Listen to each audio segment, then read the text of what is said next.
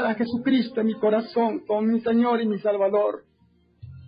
Y desde aquel momento abrí mi corazón al Señor. Se fueron mis penas, mis angustias. Estaba 12 años enfermo del corazón en tratamiento médico y el Señor me sanó. Luego después de 13 días me llevaron a la República del Ecuador, para allá me fui, dejé todo. Allá mis hermanos me ayudaban. Mis hermanos me ayudaban allá. Me enseñaban la sana doctrina. Luego me invitan para Bagua. Y en Bagua me invitan para allá para testificar de Jesucristo. Tenía tres meses todavía en el Señor. Y estando con el hermano que me llevó para allá, que era evangelista, estábamos en un solo cuarto, pero con dos camas. Y tuve ganas de ir al baño, quería orinar, hermanos. Y en ese momento, cuando yo fui a hacerlo, mi mente se puso en blanco. Y luego cuando yo me estaba haciéndolo y lo estaba haciendo parado, lo estaba haciendo de pie.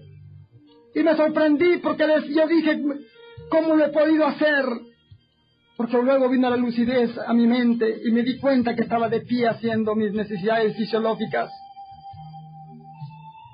Y hace más de seis años que lo hago como todo un varón, aunque no tengo mi sexo de varón, pero lo hago como un varón. Y no me avergüenzo del Evangelio, dice la palabra de Dios porque el Evangelio es poder de Dios para salvación, para los que creen. Y yo creí en Jesucristo y he creído lo que Él ha hecho en mi vida. Ahora trabajo para mi Señor. Ahora le canto a mi Señor. Ahora compongo alabanzas a mi Señor. Ahora le amo a mi Señor, le sigo a mi Señor siete años por la gloria de Dios. Y no he retrocedido. No he retrocedido. No soy perfecto, como dice la palabra de Dios, pero no he vuelto a retroceder. Sigo adelante hasta llegar a conseguir lo que quiero, la salvación de mi alma. La salvación de mi alma, lo que más me interesa. Y que otros vengan a los caminos del Señor.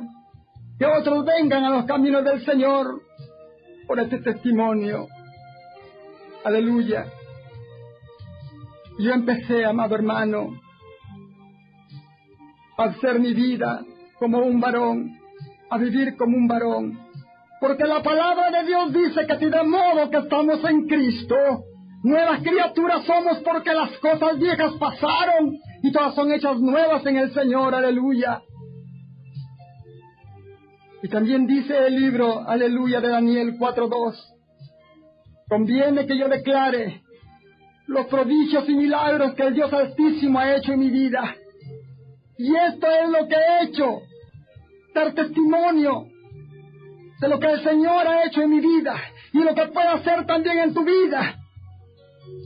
Tú eres un homosexual, tú eres una prostituta, tú eres una lesbiana, pues quiero decirte que no te preocupes, porque hay una esperanza. Quizás tú digas que no tienes esperanza, pero hay una esperanza para ti. Y esa esperanza se llama Cristo. Cristo te ama. Antes de terminar, antes de terminar,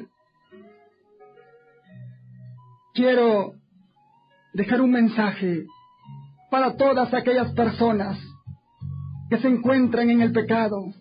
No solamente los homosexuales, no solamente las prostitutas, no solamente los drogadictos, sino la salvación es para todos. Porque dice la palabra de Dios, por cuantos todos pecaron están separados de Dios. Y es hora de que tú reflexiones, de que tú pienses cómo estás viviendo delante de Dios. Tú piensa y haz esta oración conmigo. Quiero orar por ti, mujer. Quiero orar por ti, hombre. Quiero orar por ti, jovencito, jovencita. Cristo te ama. Repite esta oración conmigo. Padre, reconozco mi pecado delante de ti. Sé que soy pecadora, sé que soy pecador, Señor. Perdóname. Límpiame de mi maldad. Señor, cambia mi vida. Cambia mi corazón. Te entrego todo mi ser, Señor. y escribe mi nombre en el libro de la vida, para cuando tú llames a mi nombre, Señor, yo responda, heme aquí. Gracias, Señor, por esta salvación tan grande que me has dado.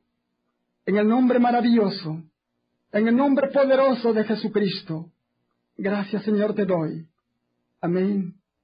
Amén.